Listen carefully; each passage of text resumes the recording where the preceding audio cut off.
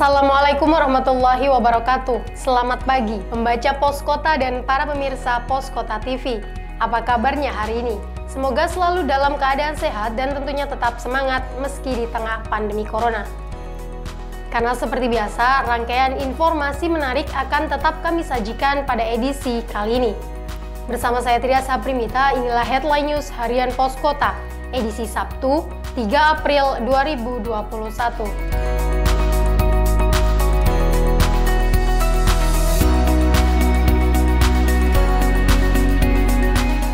Berita pertama, kami punya informasi seorang satpam dari SMPN 11 Tangerang Selatan, Sarmili, 45 tahun, meninggal dunia usai menjalani vaksin COVID-19. Peristiwa tersebut pun dibenarkan oleh pihak humas sekolah yang mengatakan bahwa satpam tersebut meninggal usai menjalani suntik vaksinasi COVID-19. Namun, menurut Salim, Humas SMPN 11 tersebut menegaskan bahwa kematian Sarmili tidak bisa langsung disimpulkan akibat dampak vaksinasi. Sebab, Satpam tersebut meninggal setelah jeda tiga minggu dari penyuntikan vaksin tahap pertama pada 3 Maret lalu. Hingga kini pihak keluarga pun mengaku sudah bisa menerima kematian Sarmili dan tidak akan menuntut lebih lanjut.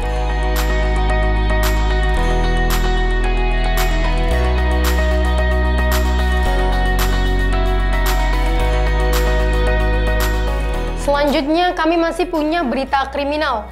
Sebuah video yang menunjukkan pengendara mobil Toyota Fortuner mengacungkan senjata api kepada pengendara lain viral di media sosial. Aksi koboi jalanan tersebut diketahui terjadi di kawasan BKT Duren Sawit, Jakarta Timur pada Jumat dini hari. Berdasarkan informasi, Pelaku berinisial MFA nekat mengacungkan senjata berjenis airsoft gun lantaran sempat cekcok hingga kesal dengan seorang pengendara motor wanita yang ia tabrak di lampu merah.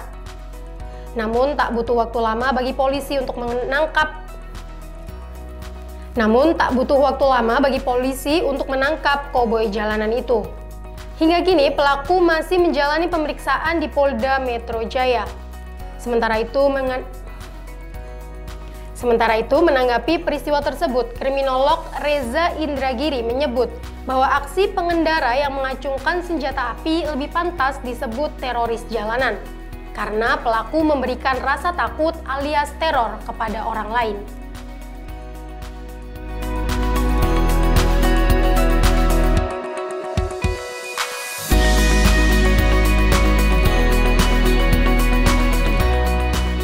Berita utama terakhir yang juga menarik untuk disimak, ada preview Liga Inggris. Kali ini Chelsea akan menjamu West Bromwich di Stadion Stamford Bridge London dalam pekan ke-30 Liga Inggris pada Sabtu malam nanti. Chelsea sedang diselimuti angin segar jelang laga nanti sehingga menjadi modal kuat bagi Angelo untuk memetik 3 poin dan mengamankan posisi di empat besar klasemen Liga Inggris. Namun West Brom tentu tak mau begitu saja mengalah dalam pertandingan karena di laga sebelumnya mereka sukses menahan imbang Chelsea dengan skor 3-3. Jadi jangan lupa saksikan keseruan Liga Inggris malam nanti.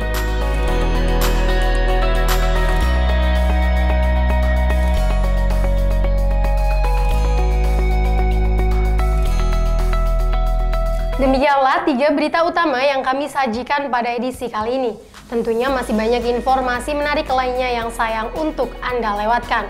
Bagi pembaca yang ingin mengakses beragam informasi lainnya bisa langsung kunjungi website kami di www.poskota.co.id. Sekian perjumpaan kita dalam Headline News Harian Poskota edisi Sabtu 3 April 2021. Saya Tria Sabrimita mewakili seluruh redaksi yang bertugas mengucapkan terima kasih, selamat pagi dan selamat beraktivitas. Ingat, tetap jaga kesehatan ya. Wassalamualaikum warahmatullahi wabarakatuh.